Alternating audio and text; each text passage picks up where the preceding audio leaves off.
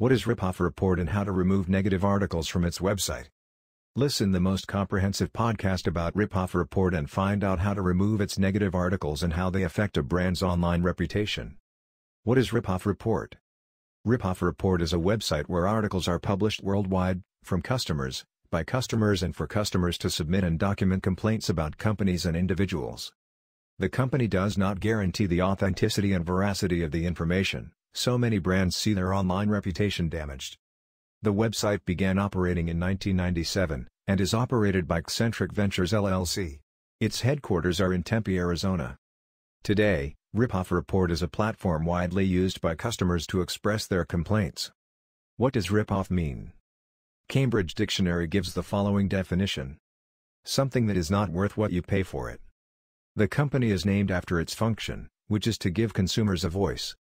They can express their complaints, or expose scams about the products or services of companies. Ripoff Report History The Ripoff Report website emerged as a space to promote the book, Ripoff Revenge, whose author is Ed Magedson, founder of the platform. He created it so that visitors could talk about the book and other complaints they may have about their experiences as customers.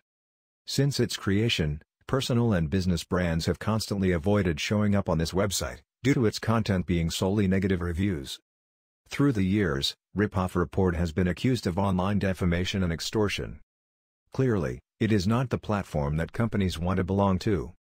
In fact, the website has been accused of promoting negative content since on its homepage they indicate complaints, criticisms, scams, lawsuits and fraud. Submit your comments. Until 2021, Ripoff Report has registered 9.008.617.292 visits and 2,635,378 articles have been written. Who is the founder of Ripoff Report? Ed Magedson founded Ripoff Report in 1997, according to his point of view to defend consumer rights. With his first successful flower sales business, he lived through difficult episodes against the competition. For this reason, he decided to run a business exposing corruption and malpractice cases. The main reason why Magedson founded Ripoff Report was to give customers strength, helping them to share information and fight for an efficient business service. In fact, it was created as a mission and not as a business with which to earn a living. Who runs Ripoff Report? Nowadays, Ed Magedson is still the director of Ripoff Report. After 24 years of work, Ripoff Report has grown into a large database of consumer comments and complaints. Likewise, its policy is based on freedom of expression and not elimination of information. In fact, writing an article is free, as the website's revenue comes from advertising, donations, and a corporate advocacy program. However, Ripoff Report constantly emphasizes on their website that, Unlike the competition, they do not delete information in exchange for money. How does Ripoff Report work? The user must register to create a report in Ripoff Report. Or, if you already have an account, log in. To register, the required data are email, password, real name and username. The user can provide other information such as location, country or telephone but they are not necessary. How do I submit an article in Ripoff Report? In Ripoff Report, submitting an article is available to all users on the Internet. The website allows consumers to share data about their experience. On the main page, the user must click on File a report. The user can write the article in a simple and intuitive way. The company or individual who is reporting the information fills in the basic data, such as the name or the country. Select the category or categories for the report. Title and writing of the report. The user attaches the documents, photos and videos, which they want to share. Accept the terms of service and the report is published. What other actions does Ripoff Report allow? Ripoff Report also allows you to update articles, at the top of the web, by clicking Update a Report. The user views their history and status of reports and rebuttals, drafts, pending and approved. On the other hand, you can also search for a specific report by entering the company name or report number. It is also possible to review the most recent reports, perform an advanced search or browse the categories. In addition, the user has a company directory at their fingertips to search by name and location. What are the categories in the Ripoff Report article? The author has 16 categories to choose from, with which to record their article. The categories are as follows, motor, community, computers and the internet, food, education and training, electronics, entertainment, finances, health and fitness, home and garden, scandalous and popular scam, services, sport and recreation, stories, travel, unusual scam and within these categories, there are numerous subcategories to specify the subject of the report. This classification helps users to search by topic. Who can post to Ripoff Report? To use the Ripoff Report services, the user must be at least 14 years of age. In addition, you must not be a citizen, locate or operate from a country that is part of the European Union or the European Economic Area, countries that are part of the GDPR. How much does a report cost in Ripoff Report? Running a report in Ripoff Report is free. The user does not have to pay any amount of money to share their experience with the rest of the community. For other services such as VIP arbitration or corporate defense, the user does have to pay a price stipulated by the company. Is Ripoff Report believable? As indicated on its website, the Ripoff Report encourages, and even requires, the authors of the reports to provide truthful information. However, Ripoff Report does not guarantee that the data is accurate and authentic. The objective of the company is that, with this documentation, consumers have enough information to make their own decision. According to the website, lawyers, different authorities and the media consult the reports. What are the sources of the Ripoff Report? The sources of information that Ripoff Report uses are the consumers themselves, who tell their experience about a person or company. Therefore, the data is neither official nor verified, and Ripoff Report delegates to readers its ability to analyze and decide on the veracity of the information. Ripoff Report protects all its sources, under the First Amendment to the United States Constitution. How does Ripoff Report affect online reputation? Although Ripoff Report is a space where users express their opinions, the web has become an inconvenience for the online reputation of brands. The editors of the information are not responsible for the comments, and therefore they are not legally obliged to delete the information. Consequently, the companies and protagonists of the reports are the only ones affected. A brand risks losing 22% of revenue if potential customers find a single negative link on the first page of Google. Everything that is presented online is a label, and disappearing from the web is very difficult. Opinions, comments and reviews form a positive or negative image, on which the company's income depends. So, having a good corporate reputation and knowing how to manage it is vital in the daily development of a company. Ripoff Report in Google Search For three years, the presence of Ripoff Report has decreased in the top positions of Google. This is due to the update in 2018, of the Google algorithm called Medic Update. Subsequent updates in 2019 and 2020, again affected the positioning of complaint web pages, such as Ripoff Report. The reason why Google undermines review and complaint sites is the poor quality and trustworthiness of the messages, as well as the writing, by unverified authors. Even so, these spaces continue to be a threat to the online reputation of companies and individuals. Why is Ripoff Report dangerous? Ripoff Report is dangerous because it does not guarantee the veracity of the data published on its website. It trusts the analysis and drawing of conclusions by consumers.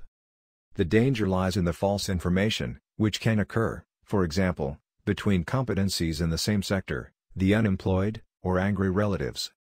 Misinformation can even amount to online defamation. Thus, this data is available to millions of people, who not only search the Ripoff Report website, but can also find the report on Google with the correct keywords. While Ripoff Report advocates believe the web supports consumer rights, critics believe it damages the digital reputation. Should I respond to a complaint about myself on Ripoff Report? As we have previously explained, Ripoff Report comments and articles can negatively affect a brand's reputation. Replying helps neutralize negative comments. You can use keywords to create positive content but this process takes a lot of time and requires some knowledge about online positioning. On the other hand, keep in mind that if you reply, the page remains active. And so it helps it rank higher on Google. This is clearly a negative consequence. In the event that the comment is true, the best thing you can do as a company is to acknowledge the error, apologize and find a solution. In this guide, you will learn what other options you have to remove comments about you or your business. The Scams on Ripoff Report Scams are very common on Ripoff Report. We explain the two processes that are carried out. 1. Scammers contact a company and complain they haven't received an order, which they obviously haven't made. The company refuses to ship a product or send money, and the scammer threatens to write a negative report on Ripoff Report. 2. A fake customer posts a negative comment about a company. The scammer sends the report link to the company, along with a cheap offer to delete it. How to rebut a ripoff report article. Faced with fake news, the first possibility that ripoff report offers the main subjects is to present a rebuttal. This option is free and available to all registered users. Complainant's response in support of the arbitration statement, in the event that the above step occurs, the complainant may reply. Arbitrator review and decision. All additional information and documentation is sent to the arbitrator, whose decision is forwarded to the rip-off report. In the event that the information is true, there will be no updates to the report. On the other hand, if the arbitrator determines that it is false, the following sentence will be added in the original title of the report. Notice of Arbitrator Decision A neutral and independent arbitrator has determined that the following report contain one or more false statements of fact. The false statements have been redacted. Next, under the title, a summary of the referee's decision is published. Ripoff report will remove any statement that the referee determines to be false. A valuable option that a victim of a false report may consider is to contact a specialized company, such as Reputation Up. The company is responsible for removing obsolete, false and defamatory content, from all countries, in all languages. Corporate Defense Service Ripoff Reports Corporate Advocacy Service offers a swap from negative to positive reputation. However, the victim must pay around $7,500, plus a monthly fee and a critique fee. A cost that, obviously, few companies or people can afford. Ripoff Report receives numerous criticisms for this service since it is understood as blackmail, in which only by paying, negative information changes to positive. How does Ripoff Report affect small businesses? The rip-off report policy primarily affects small businesses, which do not have enough money to pay for the company's programs. In the case that you are a small or medium-sized company, we give you some tips to take criticism as an opportunity. Main goal, a top service, the company must focus on offering the best service to its customers. If the criticism is true, reply to the comment, apologize, and find a solution. It is important that you answer to the review as soon as possible so that users see that you care about them. Improve the service or product, perform an analysis to see if the reviews always point to the same product or service. If so, try to improve what the customer points out. You can modify the service or offer discounts. Changes and new strategies can help you generate more income, and protect your financial reputation. Positive reputation Work on improving the positive reputation of your company. When your service is good, customers reflect it through reviews on Google. The company must interact with them, thanking them for their comment. In this way, negative reviews will descend on the search engine. Reputation Up, a company specialized in the right to be forgotten, helps brands eliminate negative reviews and improve their online reputation. One option that companies can consider is reputation monitoring. The web scan allows you to see what they say about your brand in real time. For example, you can find out what the comments of customers or competitors are. This way, brands can anticipate a specific problem, or even a reputational crisis. Is suing Ripoff Report viable? The victim of the report has several legal possibilities, which they can take. In the following section we analyze each of them and their effectiveness. Sue the person who wrote the comment, the result can be compromised by the anonymity of the author. Sue Ripoff Report, many users have chosen this option but none of them have won their case. Why? The company takes advantage of Section 230 of the Communications Decency Act, which states that the Internet publishers of third-party materials are not responsible for those materials. In 2015, the United States Court of Appeals for the Ninth Circuit issued a statement. The Communications Decency Act does not immunize Xcentric for the content it creates and posts, nor does it immunize misrepresentations made by a publisher about its publishing conduct. De-index a Google URL, serve Google with a court order to de-index search engine results. However, its response time is very long, reaching up to two years of waiting. Similarly, Ripoff Report can move the report to a new URL, so it reappears in search results. The fastest and most reliable option is to contact a company, such as Reputation Up, that helps brands clean the digital image of negative, outdated and false content. Historic legal actions against Ripoff Report as we have previously explained, many users, companies and institutions have denounced Ripoff Report. In this section, we explain the most famous cases, since its foundation. In 2011, The 3rd District Court of Appeals in Florida ruled that Xcentric's practices were gruesome but enjoyed full immunity under the Communications Decency Act. This ruling came after Ripoff Report published false and defamatory information about the owner of a Florida drug treatment center. They said about him that he was a convicted felon and that the employees were distributing drugs illegally. When a user creates an account on Ripoff Report, they agree to a specific location in Arizona for a legal dispute. In 2013, a federal court in Maryland agreed that this settlement did not prevent a user from suing both the author of the article and Ripoff Report, in Maryland. That same year, the government of India ordered a block on access to the Ripoff Report website. This decision lasted one month. In May 2014, Yahoo blocked the page for multiple online defamation complaints.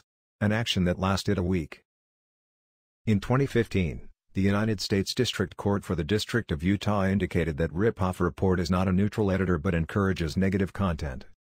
The court added that the website allows comments from users, but also from the competition.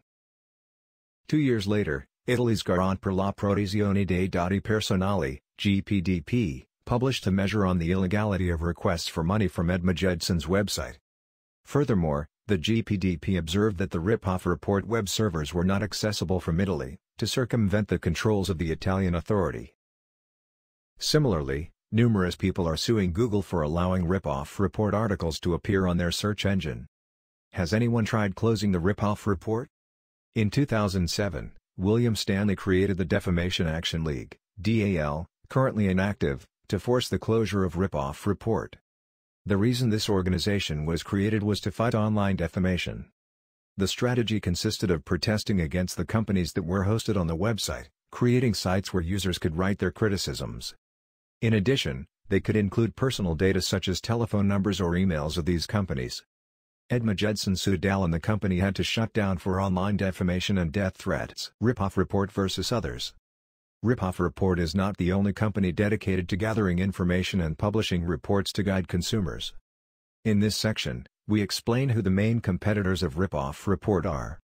Better Business Bureau Better Business Bureau, BBB, is a non-profit organization, which promotes trust in the marketplace. It is made up of local organizations and its operation is based on a rating scale. According to Ripoff Report, it differs from BBB in that the former does not hide satisfied reports. That is, all comments remain public and unedited, to create records of companies or individuals.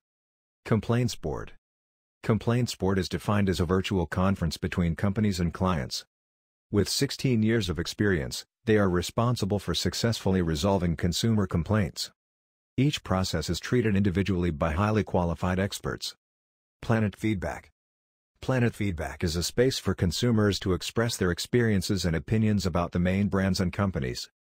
They have offered their services for 18 years, and they are currently on a break period. Conclusions through this Reputation Up podcast you have fully learned how Ripoff Report works. In fact, you have discovered that deleting their articles is impossible and this affects the online reputation of a personal or business brand. From this guide, we can draw the following conclusions.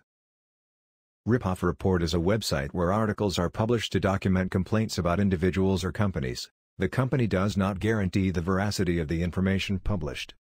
Brands avoid appearing on this website because most of the comments are negative.